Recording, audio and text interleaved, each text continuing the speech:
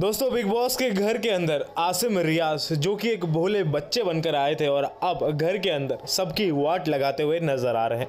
जहाँ इन्हें हिंदी भी अच्छे से बोलनी नहीं आती थी तो अब घर के अंदर वो सबसे आगे निकलते नज़र आ रहे हैं और ये सबूत देता है ट्विटर जी हाँ दोस्तों ट्विटर पर आसिम रियाज को लेकर हैशटैग अनस्टॉपेबल आसिम का जो ट्रेंड चल रहा था दो दिनों से, उसे अब तक का सबसे बड़ा रिकॉर्ड माना जा रहा है। आपको बता दें कि इसने एक मिलियन ट्वीट्स क्रॉस कर लिए हैं। अब तक बिग बॉस के इतिहास के में ऐसा कभी भी नहीं हुआ कि कोई इंसान इतना ज़्यादा वर्ल्ड वाइड ट्रेंड किया गया हो।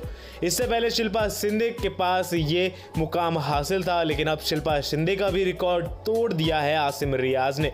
और हैश टैग अनस्टॉपेबल आसिम, एक मिलियन से ज़्यादा 1.4 मिलियन के लगभग ट्वीट्स कर चुके हैं। इसी के साथ ही आसिम का योगदान यानी कि घर में सबसे ज़्यादा है, लेकिन जब योगदान की बारी आई थी तो किसी भी घर वालों ने उनका नाम नहीं लिया था। घर के अंदर आसिम रियाज काफ़ी अच्छा करते हुए नज़र आ रहे हैं। पहले वो सिद्धार्थ शुक्ला के साथ थे, लेकिन इसके बाद इनका इंडिविजुअल गेम लोगों को बेहद पसंद आ रहा है। जिस तरीके से पारस की छोटी बातों को उन्होंने टैकल किया और इतने शानदार तरीके से जवाब दिया, वो भी बिना गाली दिए। वो लोगों को बेहद पसंद आया। अब आसिम रियाज का गेम लोगों को बहुत ज़्यादा पसंद आ रहा है।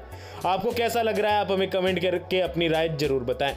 सब्सक्राइब करें हमारे चैनल खेलो खेलो को, क्योंकि यही मिलती है आपको बिग बॉस से जुड़ी हर खबर सबसे पहले।